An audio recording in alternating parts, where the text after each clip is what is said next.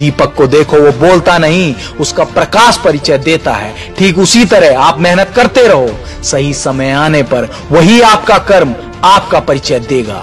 जमाना क्या कहेगा ये मत सोचो, क्योंकि जमाना बहुत अजीब है मेरे दोस्त। ये नाकामयाब लोगों का मज़ाक उड़ाता है और कामयाब लोगों से जलता है। खुद पर यकीन करना सीखो। फिर देखना, एक दिन घड़ी किसी और की होगी और समय होगा आपका। अपनी ज़िंदगी में इतने कामयाब बनो कि तुम्हारा मज़ाक उड़ाने वाले लोग खुद एक मज़ाक बन जाएँ।